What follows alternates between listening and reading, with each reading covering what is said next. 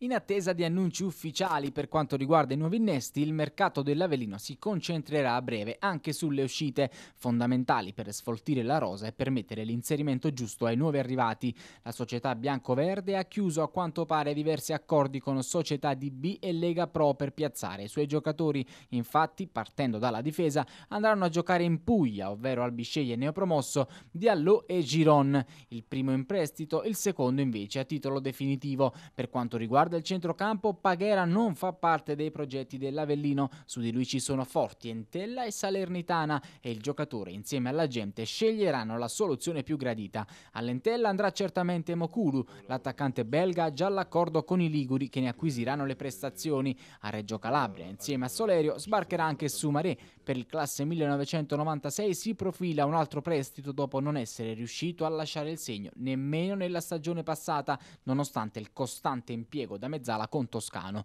Non si muoverà da Avellino Gigi Castaldo, il giocatore vuole fortemente restare in biancoverde e la sua volontà prevale su ogni tipo di discorso che il procuratore aveva intavolato. L'Avellino riparte dal suo 10.